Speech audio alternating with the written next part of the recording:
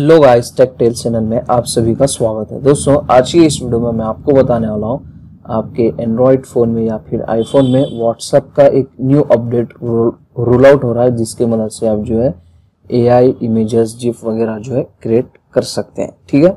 तो इसके लिए सबसे पहले आप अपना जो व्हाट्सएप है ओपन कीजिए। ओपन करने के बाद कोई भी एक चैट ओपन कीजिए इस तरीके से। ठीक है? ओपन करने के बाद आपके मैसेजेस बॉक्स में यहाँ पे आपको एक पिन का आइकन लोगो मिलेगा, उस पर टैप कीजिए और अब यहाँ पे आपको ऑप्शन मिलेगा इमेजिन का, ठीक है? उस पर टैप कीजिए, ठीक है? इस तरीके से। अब यहाँ पे आपको जो है, जो भी इमेज आपको एआई की मदद से क्रिएट करना है, वो इमेज का आपको जो है यहाँ पे डिस्क्रिप्शन टाइप करना है, ठीक है? जैसे कि मैं for example man driving to का इस तरीके से मैं यहाँ पे इमेज डिस्क्रिप्शन टाइप किया हूँ, उसके बाद यहाँ पे ये ऑटोमेटिकली एआई की मदद से इमेजेस जो है क्रिएट करेगा। आप यहाँ पे देख सकते हैं, अगर आपको यही इमेज चाहिए तो आप जो है यहाँ पे एरो मार्क पे टैप कीजिए, वो जो है क्रिएट हो जाएगी। अगर आप इसको सेंड करना चाह रहे हैं तो सेंड बटन पे टैप कीजिए, वो इमेज जो है सेंड हो जाएगी।